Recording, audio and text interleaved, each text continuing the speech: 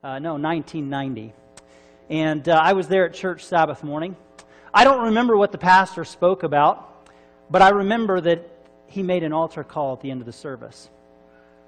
And I, like maybe some of you, I was sitting on the edge of my seat, feeling compelled to get up and go forward, and yet being scared half to death to get out of my pew.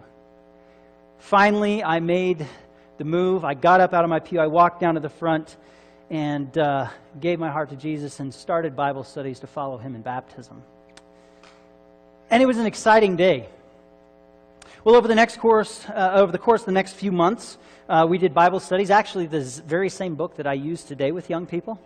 It's kind of wild, but it's good stuff. And uh, in the summer of 1990, we attended the General Conference session of Seventh day Adventists in Indianapolis, Indiana. Uh, our family had the opportunity to sing the very first Sabbath uh, in between Sabbath school and church. It was kind of a fun experience, you know, being in front of 30,000 people. That's a little weird. It seems really scary, but you can't see anybody, so it's really not that big a deal. Um, had a good time there. My grandparents were there with us, and they came back with us to Arkansas.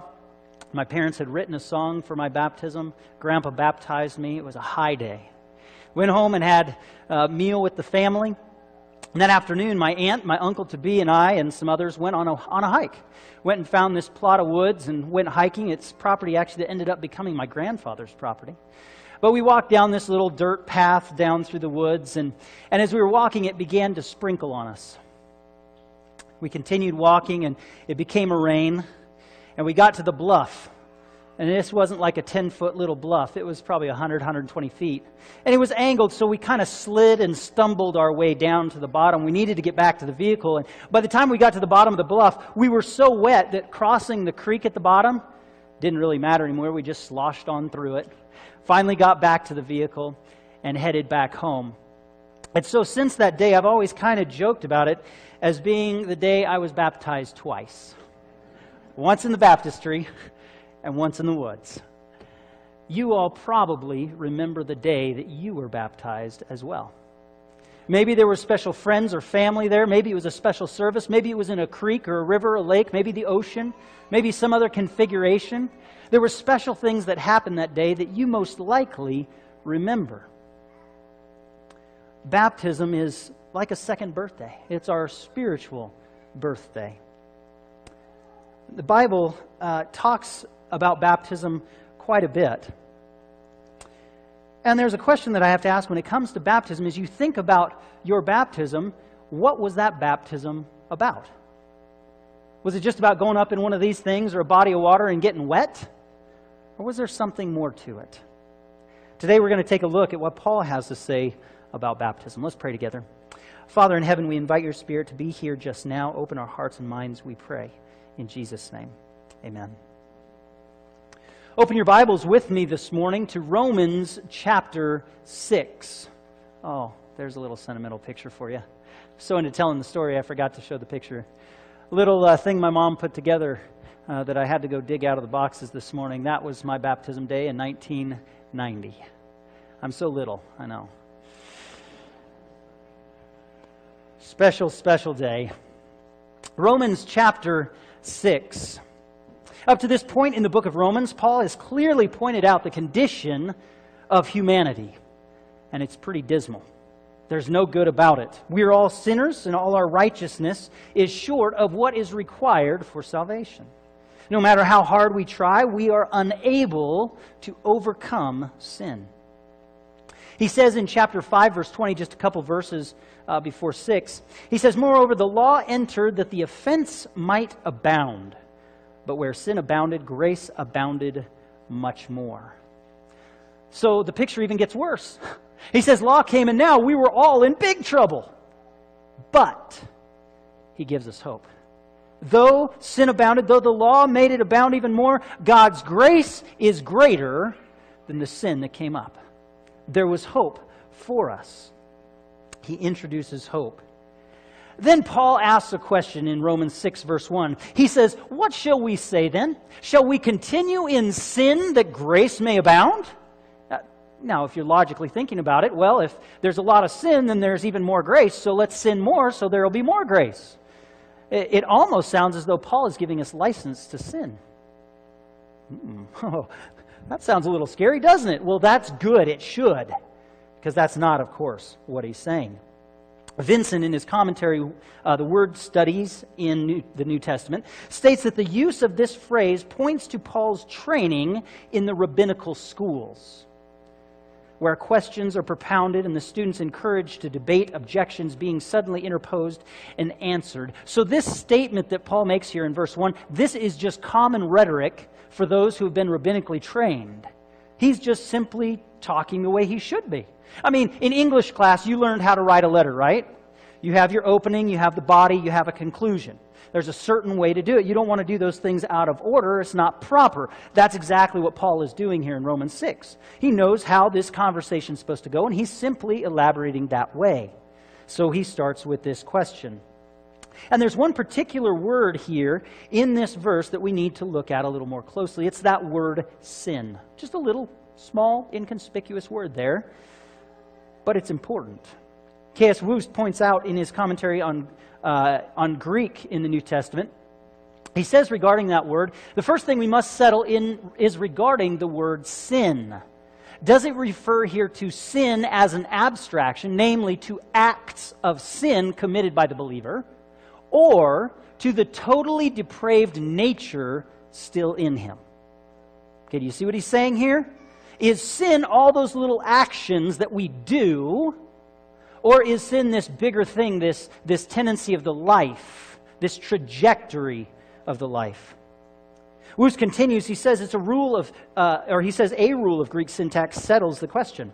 The definite article appears before the word in the Greek text. So it's not just sin, but it's the sin. Um, here, the article points back to a previously mentioned sin defined in its context. The reference is to sin reigning as king in chapter 5, verse 21. There, sin is personified since it reigns as a king. But one cannot conceive of acts of sin reigning as king in the life of a person. They are the result of some dominant factor reigning as a king. So it's not all those actions that we're talking about, but it's something greater than those actions, where those actions come from. There's something greater acting as king of the life. That can only be the evil nature still resident in the Christian. And here's the key to the interpretation of the entire chapter. In time, the word sin is, um, every time the word sin is used in this chapter as a noun, it refers to the evil nature in the Christian. Okay? Because we're not talking about all the little actions, but the evil nature. R.J. Utley would agree. He states that the term sin seems to refer to our sin nature inherited from Adam. Now, this is an important point. We may think that living a perfect life means we never have any of these little sins, we never make mistakes, right? Because we're called to live a holy life. Now, if we're talking about all those little sins, that's all those little pinpoints, and living without those is impossible. However, this comment suggests something otherwise that it's not just all those little things, but rather it's the tendency of life, it's the nature with which we look at life from. Wuest continues, he says, the question now can be further interpreted to mean shall we continue habitually to sustain the same relationship to the sinful nature that we sustained before we were saved? a relationship which was most cordial, a relationship in which we were fully yielded to and dependent upon that sinful nature.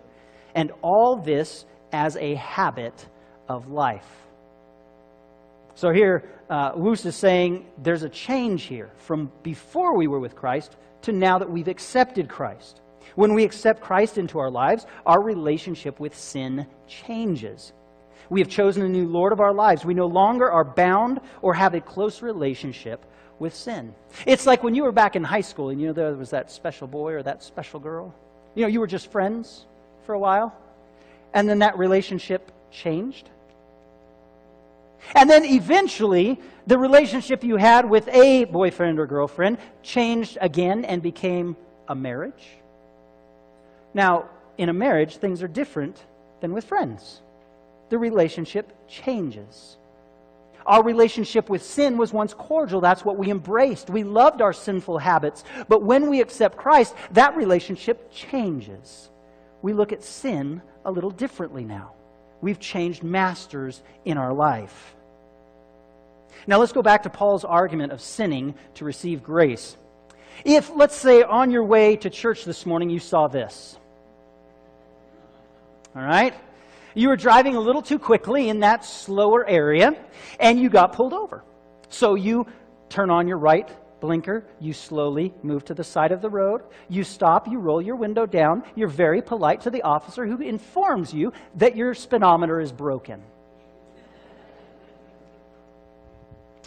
The officer tells you what your correct speed was that you were completely oblivious to. And he asks for your license, your registration, he goes back to the car, and then afterwards he comes back and he says, Well, today I'm going to give you a warning. You need to make sure you drive slower. You say, Thank you so much. You roll up your window, you put your things away, you turn on your left blinker, and you lay a black strip right there on the road. Right? That's how you do it. Right? No. Your relationship has changed to the law. You've experienced grace. You now behave differently. You put on your left blinker, you look in your rearview mirror, you slowly accelerate to three miles an hour below the speed limit, and you continue on your way to church. Your relationship with the law has changed because of your interaction with the law. When we accept Christ, our relationship with sin changes. We no longer espouse it. We no longer enjoy it. We no longer participate in it on a regular basis. We have now changed in that relationship. So when Christ has forgiven our sin condition, should we continue in sin so he will forgive us again? Ooh, maybe I need to go back over this part again. no, that's exactly what Paul says. He says, certainly not. He answers his own question. And then he continues in verse 2 and says, How shall we who died to sin continue any longer in it? He says, You need to change. The relationship has changed. It's a good point, especially in light of sin being a sinful nature that we have inherited. It changes our relationship to sin. Because Christ died for us, He paid the price for our sin condition. And when we accept Him, it changes everything. Paul writes in 2 Corinthians 5:21, "For he made him, that's Jesus, who knew no sin, to be sin for us, that we might become the righteousness of God in him." He changed the sin condition that we are helpless to change. But when we accept him, that situation changes. And then in 1 Peter uh, 2:24 we read, "Who himself bore our sins in his own body on the tree, that we, having died to sins, might live for righteousness." by whose stripes you were healed. Because Jesus died for you and I, therefore we should not continue to live according to our sinful nature. This last week, as we were doing the kids' Sabbath school lesson, uh, there's this discussion about a, a wedding feast. And uh, the, the master of the house comes in and finds someone in the wedding feast that doesn't have on the wedding garment. And he goes to the man and says, Well, what's going on? Why don't you have on the garment that I gave you? Well, blah, blah, blah, there's no excuse. When we accept Jesus, we accept that wedding garment, that robe of righteousness to cover up our sin. That sin condition has changed. Our relationship with sin is different now. Jesus paid the price, and we're living a different life now. Paul then continues his argument in verse 3. He says, Or do you not know that as many of us as were baptized into Christ Jesus were baptized into his death? Well, now, wait a second baptized into death? That sounds weird. What in the world is Paul talking about here? Well, Utley tells us that the use of eis, which is the, the preposition in or into, it parallels the Great Commission of Matthew 28 19, where new believers are baptized eis or into, the name of the Father and the Son and the Holy Spirit. So we are baptized into the likeness of God. So when we are baptized into death, we symbolically die. All right? We symbolically die. And what do we die to? Well, we die to the way things used to be sinful nature. When we are baptized, we are joined to Christ. We lose identity in self, and we now find our identity in Christ. We take on another's name. Now, ladies, some of you here this morning have done this very thing very physically in this life. Right? When you married your husband, you probably took his name. You changed names. Your identity is no longer in your mom and dad necessarily, but in the new family that you've created, the name that you've taken on. So it is for Christians. Instead of, hello, my name is Chris, I'm a sinner. It is now, hello, my name is Chris, I am a son of the King of the universe. That's a good change to make, isn't it? It's a new identity that we have. Galatians chapter 2 verse 20. I have been crucified with Christ. It is no longer I who live, but Christ lives in me. And the life which I now live in the flesh, I live by faith in the Son of God who loved me and gave himself for me. It is a change of identity. It's no longer about me. It's all about him. This changes everything. You know, we talk about stewardship, and where does our mind go? Money. But, friends, if we've put on Christ, if we've taken on a new name, stewardship is about everything that we do. From every moment, from the very moment we wake up to the moment we go to sleep, all the time that we spend throughout the day, we are using, we are stewarding, because it is a gift of God. Stewardship involves all that we do. And when we take on this new identity, the identity of Christ, all that we do represents Him. Therefore, we are His stewards. We relinquish control of our lives to someone else, someone who knows us better than we know ourselves. We are now in relationship with Christ. It is a new, deeper union with Him. In Galatians 3:27 Paul writes, "For as many of you as were baptized into Christ have put on Christ." So everything changes at the moment of baptism, right? Ah, oh, it's like a trick question, isn't it? A.T. Robertson states Baptism is the public proclamation of one's inward spiritual relationship or relation to Christ attained before the baptism. So Selena and Jacob didn't change the moment they entered the water.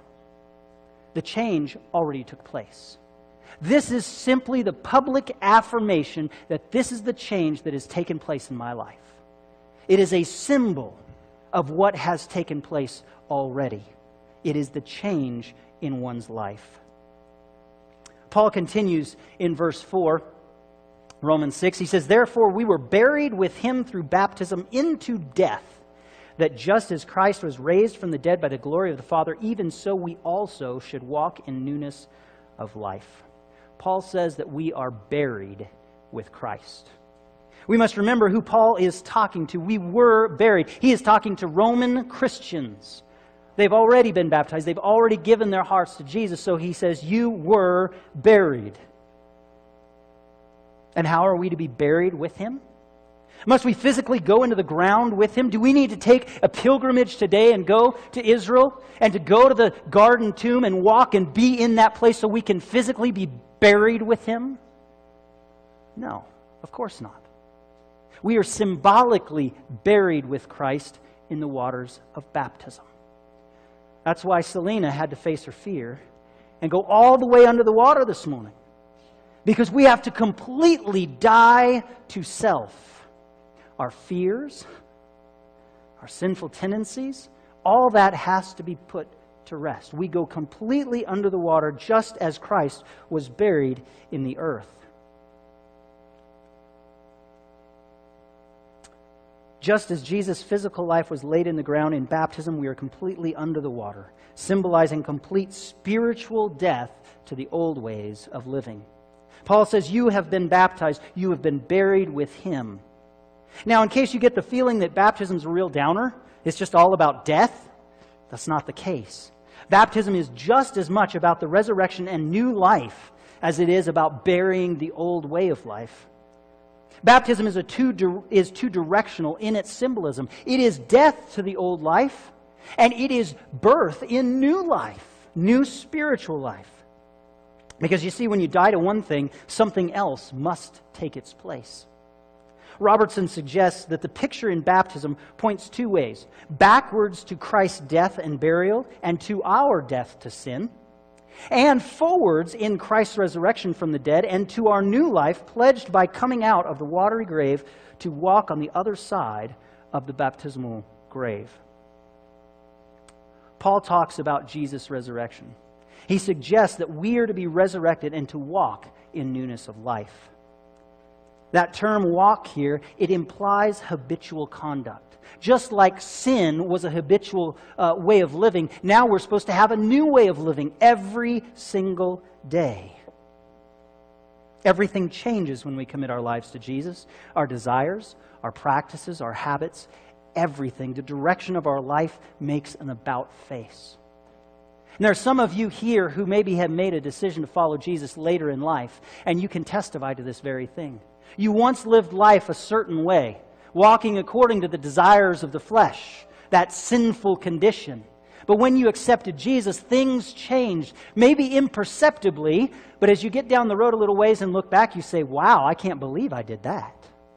There is a change of life. It is an about face from walking this way in my own thing to turning around and walking to Jesus and what He wants for me because it is absolutely polar opposite of what I want for myself. Wu suggests that the Holy Spirit, at the time of the sinner's salvation, enthroned the Lord Jesus in the throne room of the believer's heart. He stays on the throne so long as the believer keeps yielded to the Spirit and rejects the behests of the evil nature. When the believer sins, the dethroned king, the evil nature, mounts to the throne with the consequent dethronement of the Lord Jesus. Now, to make this a little simpler and for kids, uh, kids, have you ever played um, King of the Mountain? Ah, yeah, you know what that game is, right? So, so for those of you who may not know what King of the Mountain is, there's a hill, or a chair, or a beanbag, or several mattresses, or whatever it is, some higher point. And the object is to stay on top of the higher point, not to get knocked off. So once you get to that pinnacle, then you have attacks from every direction of people trying to knock you off so they can get to the top in a spiritual sense, that is what is going on in our life between God and Satan. And the choice is up to you of who gets the top spot. They can't knock each other off necessarily. That is your choice. When we accept Jesus, we place him on top. He is the king of the mountain. And when we choose to follow Satan, what we say is, God, nope, don't want you there. Get out of the way. Satan, you go ahead and take that spot. That's what happens. And so there's this constant battle going on in our lives. So, this new life that we're resurrected into, it is a constant battle. It's not a one and done situation. It's a continual battle against the desires of the flesh, the evil nature. Paul talks about it in Romans chapter 7. He says, I know what is right. I know what I want to do, but I can't do it. It's the things that I don't want to do that I end up doing. He recognizes this ongoing battle that happens each and every day of our lives even though one has died to the old man, the old way of living, there is still a battle that goes on. Like our children's story this morning, that, that old desire, that evil ghost keeps trying to rear its ugly head, tries to continue to destroy us. And it's only through the death to self and the resurrection to new life that we have any hope in this battle against Satan. Now, the word life that uh, Paul uses here in Romans is a little interesting. The common word for the um, term life is bios, talks about the manner of life. But Paul uses the word zoe, it's the principle of life.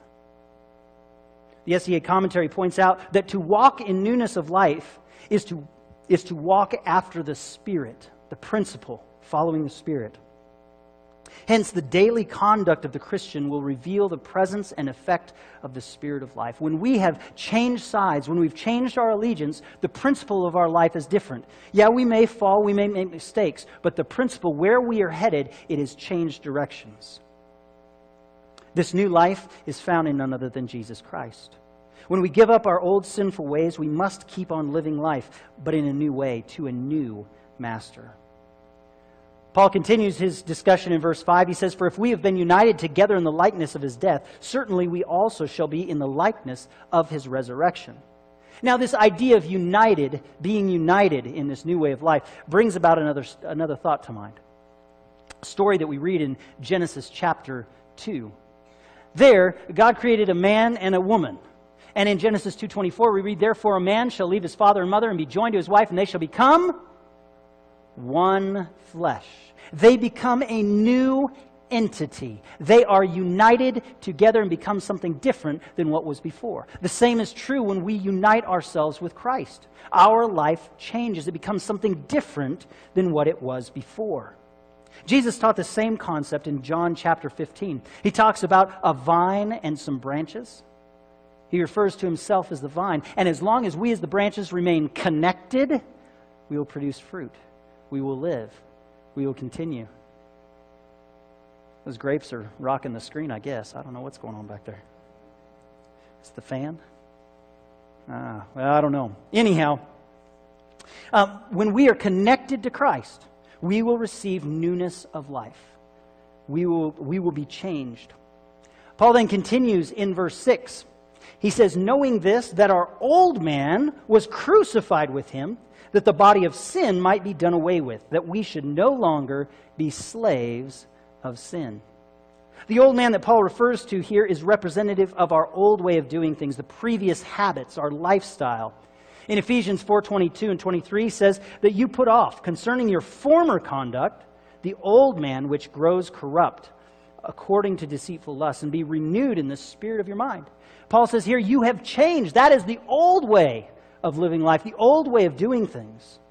Then in Colossians 3:9 he says do not lie to one another since you have put off the old man and his deeds. You've changed. Something has changed. Don't do that stuff anymore. Now, Jesus, he says the exact same thing as Paul's saying here. He just uses a little different terminology. Jesus taught that we need to be reborn.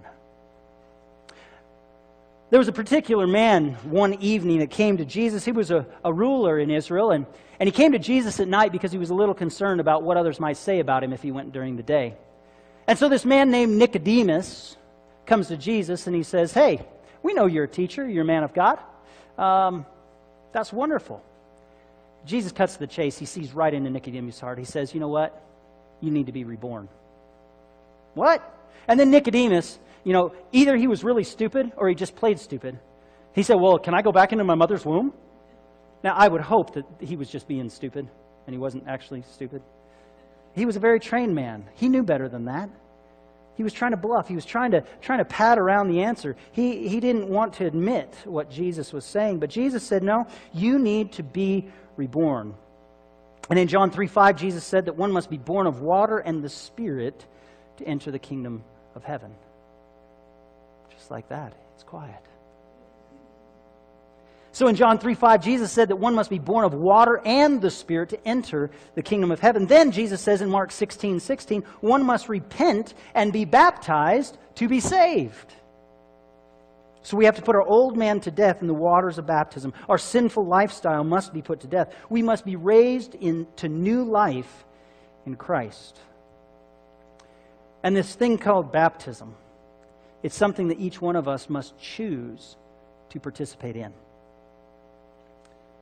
The Seventh day Adventist commentary points out that in order for the sacrifice of Christ to accomplish salvation for the sinner, the individual believer must knowingly participate in the meaning and in the experience represented by the death, burial, and resurrection of Christ for his sake. It's something that we must choose. It's not chosen for us we make that decision personally. Today, Selena and Jacob make the decision for baptism, not because mom and dad said, Oh, you have to be baptized now.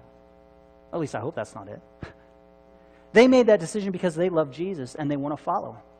Jacob, you realized you don't have to be perfect, God still loves you.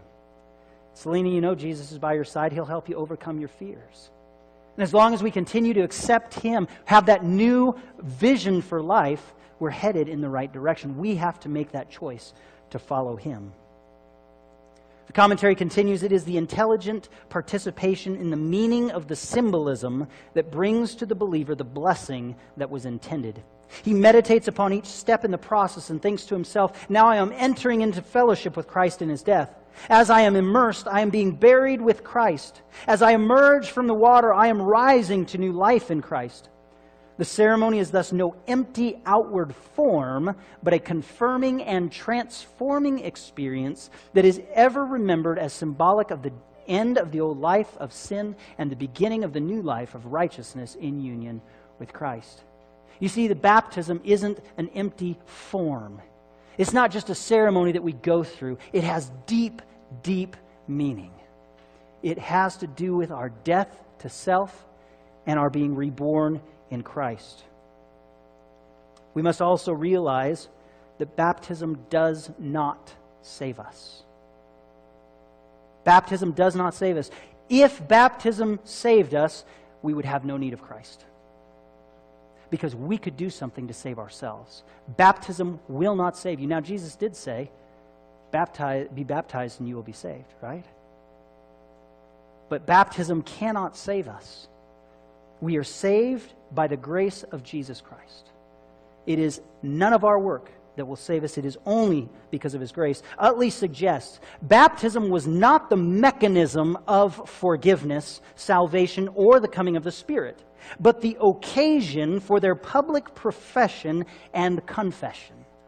Baptism is simply the symbol indicating what is already taken place in our lives. It is not what saves us. He also states our new life does not bring us salvation, but it is the result of salvation. Baptism is the symbol of what has already happened in our lives, not the event that allows these things to happen. It is in baptism that we truly celebrate what Christ has done for us. As we conclude this morning, I want you to remember what your baptism was about. It wasn't about a special day or a special speaker. It wasn't about your family. It wasn't even being in the baptismal font. Your baptism is about identifying in your new life in Christ, saying goodbye to the old, turning around, going another direction with your life, allowing Christ to be number one in all that you do and all that you say. It's about identifying with Christ. It's about surrender of your life to Him. That is what our baptism is all about. There in Mark 16 16, Jesus says, Repent and be baptized, and you will be saved. We also read that you need to be baptized of the water and the Spirit.